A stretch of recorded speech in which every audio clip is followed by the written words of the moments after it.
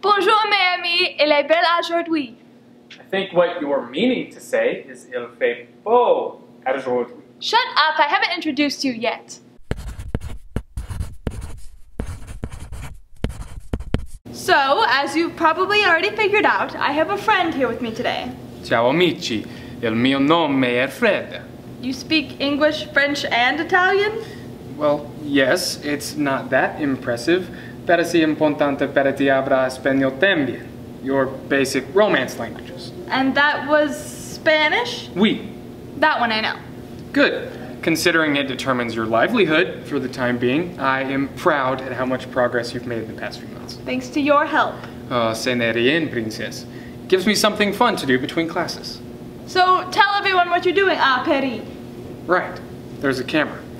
Well, I am an international business major, so I had to spend a semester abroad, and why not do it in the company of all the beautiful things the city has to offer? But Paris is so big. How did you find me? I mean, friends. Well, a few years ago, I was introduced to a good man, Theodore Lawrence, and he made sure that I knew where you would be so that whenever I came here, I could find you and look out for you. Laurie needs to learn that I don't need looking after. I'm an adult now. I can handle myself. Oh, of course.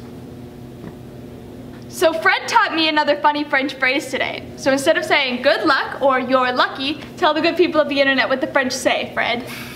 Avoir un code bordé de nuit. Which translates to... You have a noodle-lined butt. you girls are so easily amused. Ah, Allez, c'est faire cuire un ouf.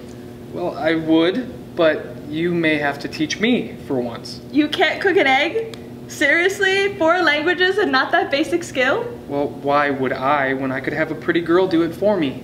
Was that supposed to be a compliment? Well, it certainly wasn't an insult. I'd better get going. You have to go so soon? I'm afraid so. It's been a pleasure. Que poco azurie pas para el cielo que eres. I'm so happy that Laurie introduced us. So that was Fred. Now I have to get back to painting. A plus tard, la